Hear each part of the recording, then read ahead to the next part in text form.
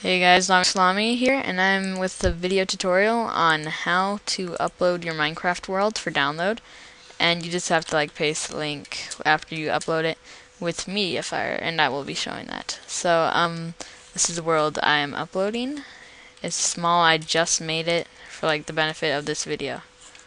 So, now what I will do is I go out. So now what you need to do, here let me exit this out what you need to do is go to your percent app data percent folder. It'll be roaming. You go in that, go to your dot Minecraft, go down to your saves folder right here, double click on that, and then find the world you want to upload. Here's mine.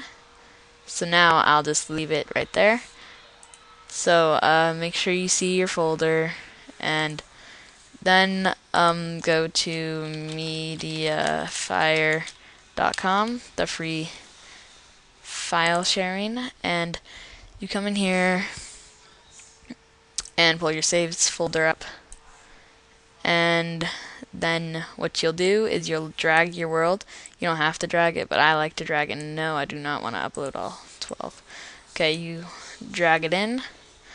It'll start uploading and you just wait for it. So now we'll be waiting. I'm using Cam Studio. Uh, the worlds that I uploaded will be for up for download soon. I mean, you guys probably don't want Bob unless you want the seed, which I don't know what it is. But um, secret folder. Yeah, I tried to get this for my server stuff, but it's not working.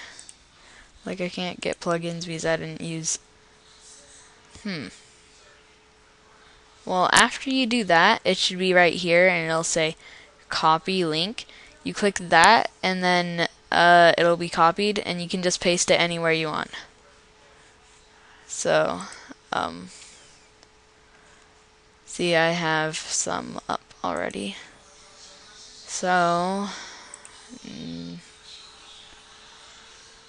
hmm, hmm.